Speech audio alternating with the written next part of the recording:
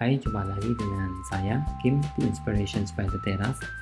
Kali ini saya akan membahas tentang topik uh, penggunaan kata depan di dan penggunaan awalan di. Nah, hal ini penting karena ketika kita menulis, maka kita perlu memperhatikan uh, gramatika, paling nggak gramatika sederhana. Tidak perlu gramatika yang kita harus uh, sophisticated sekali, tetapi cukup uh, kata depan uh, kita harus bisa membedakan dengan imbuhan atau awalan atau akhiran. Tujuannya adalah untuk membuat tulisan kita lebih um, bisa dimengerti dan bisa dibaca dengan baik. Dan selain itu, uh, kualitas tulisan juga sangat diperhatikan ketika kita melamar pekerjaan ya. Uh, ketika kita menulis CV kita atau resume kita dan kirim ke HR suatu perusahaan itu mereka kadang-kala memperhatikan hal itu jadi uh, kualitas uh, kita dinilai juga dari kualitas uh, tulisan kita baiklah tanpa berpanjang lagi saya akan tuliskan di sini tadi ke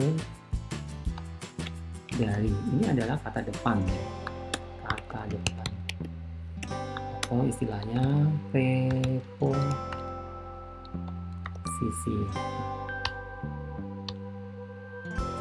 Di sebagai awalan itu biasanya uh, seperti ini. Ini kan apa? Kemudian ada juga akhiran ya akhiran itu misalnya kan uh, i gitu ya ini juga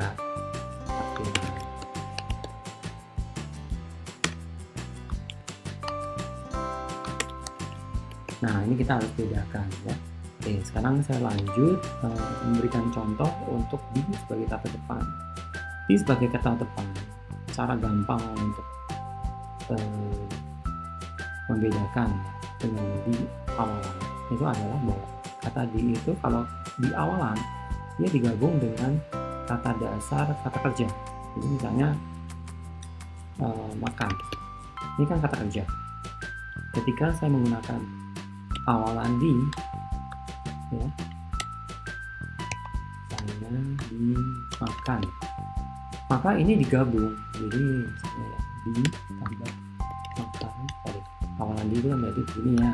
Penulisan kode ya. Pas makan maka akan jadi dimakan digabung. Karena di uh, sebagai awalan terhadap kata kerja. Tapi kalau di itu menunjukkan kata keterangan tempat misalnya di dari papan nah ini uh, maka dipisah penulisannya. Nah bagaimana contohnya di dalam kalimat? Misalnya ya saya memperhatikan angka statistik positif corona semakin menjulang di kota Balikpapan. Nah, seperti ini. Nah, jadi di kota Balikpapan, di sama kota harus bisa. Jangan kita nulis di dan kota disambung. Itu akan ini salah. Nah, nggak boleh ya. Jadi yang benar seperti ini.